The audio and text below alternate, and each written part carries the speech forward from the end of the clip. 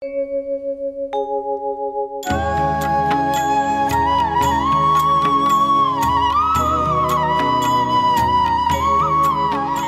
Himalayan town of Rishikesh shares its name with Lord Mahavishnu, Rishi Kesha, the one who has complete mastery over his senses. Rishikesh is a Dharma Bhumi, the land which has fostered goodness. It is a Tapo Bhumi, the land of penance for thousands of spiritual seekers and sadhakas. It is a Divya Bhumi, the holiest land enabling the achievement of the highest Vedic ideals.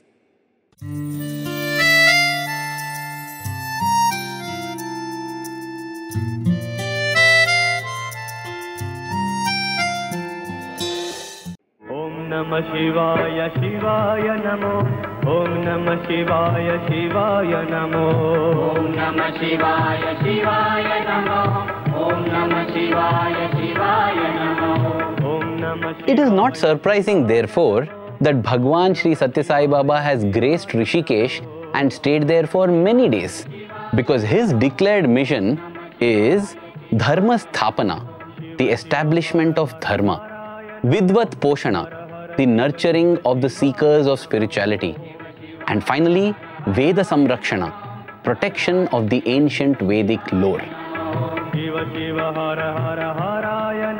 The story begins back in 1957, on the 22nd of July to be precise, when Swami reached Rishikesh escorted by the disciples of Swami Shivananda from Haridwar. At Shivananda Nagar, Swami was greeted by Swami Shivananda, who was on a wheelchair because of his health problems. Swami responded to him with a divine smile and an Abhayahasta. The next day, Swami addressed a gathering of all the ashramites and the people of the town of Rishikesh. He exhorted them to draw inspiration from the river Ganga, which was flowing nearby. He said that the river Ganga knows its origin is the sea and that its destination is the sea. And that knowledge makes the river gush with all enthusiasm and energy, irrespective of the obstacles in the course. That is how a true spiritual seeker must be, he said. He enthused and energized everyone to remain undeterred on the spiritual path. For the health of the doctor turned sage Swami Shivananda, Swami materialized a beautiful Japamala with Rudraksha beads encased in gold. He also materialized some Vibhuti, gave it to him, and applied a little to his forehead. Swami spent hours with Swami Shivananda on the banks of river Ganga discussing on various subjects. One day, in fact, Swami picked up a little of the Ganga water and poured it into the hands of Swami Shivananda. It had turned into divine, sweet Amrit. It is indeed symbolic that by the time Swami left Rishikesh, Swami Shivananda was merrily walking on his own, having discarded the wheelchair.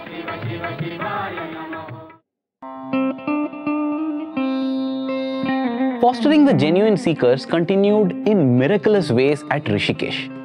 Swami Purushottamananda was another resident sage at Rishikesh. He had written as early as 1918 to his master Swami Brahmananda, who was the direct disciple of Ramakrishna Paramahamsa, that all is delusion. I cannot rest till I come face to face with truth. The venue of his sadhana was the Vashishta Gufa, a cave which Swami pointed out to his entourage one day. Then something interesting happened. Swami descended the slope towards the Ganga as if it was a path well known to him. When Swami walked into the cave, Swami Purushottamananda welcomed him. He requested Swami to sing some Tyagaraja Kirtanas, and Swami delighted him with his renderings. Overflowing with joy, the elderly sage told Swami, He only has sent you, obviously referring to Lord Sri Rama. Swami smiled sweetly and replied, No, no, he only has come.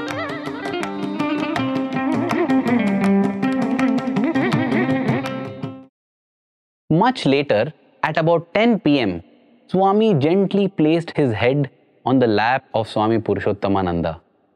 He then granted him his heart's deepest desire.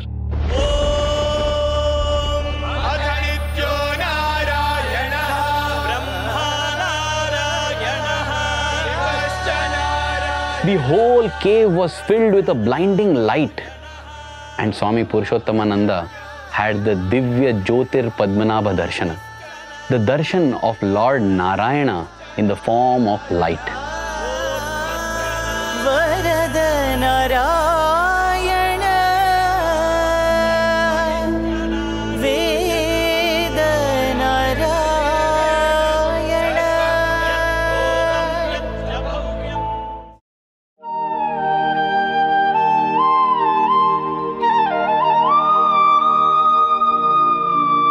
Finally, when Swami was returning from the cave, he went into a trance. The devotees accompanying Swami did nothing but sit beside Bhagwan's body till Swami returned. Swami returned surely later in the night and then said that he had gone to protect a yogi from a watery grave.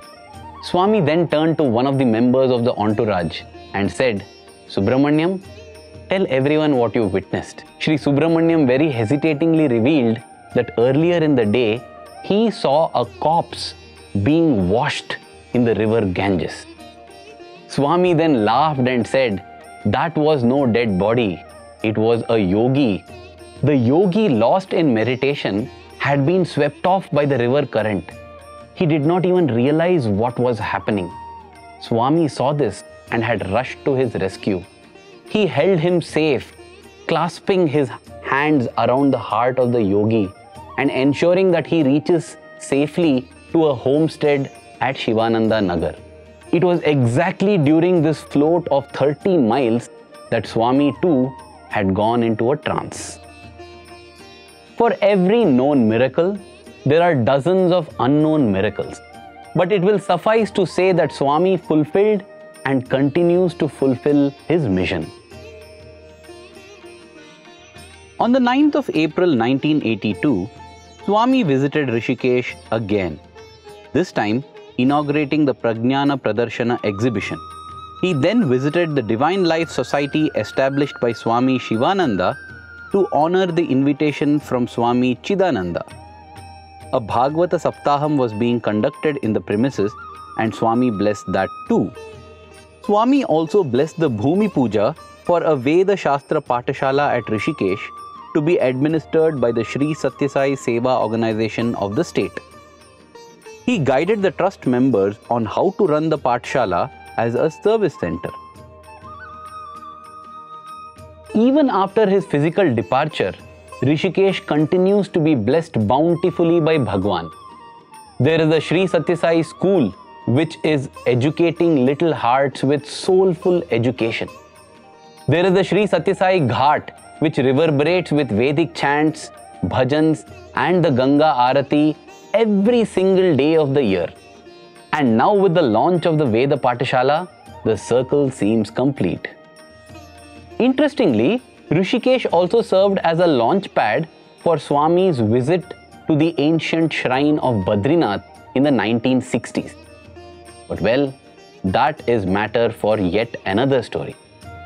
Thank you. Jai Sai Ram.